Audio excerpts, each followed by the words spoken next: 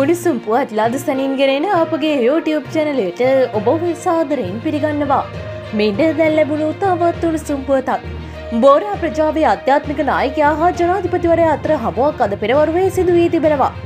මෙරට රජ්‍ය විසින් ගෙන යන කොවිඩ් පාලන වැඩ පිළිවෙල පැස්සුමට ලක්කර බෝරා ප්‍රජාවේ අධ්‍යාත්මික නායකය සෙයිදියනා මුදල්ෆිල් සෙයිෆුද්දීන් සහබ්තුමා තමා මෙරටට දියුණු අපේක්ෂා කරන බවත් පෙන්වාදී තිබෙනවා.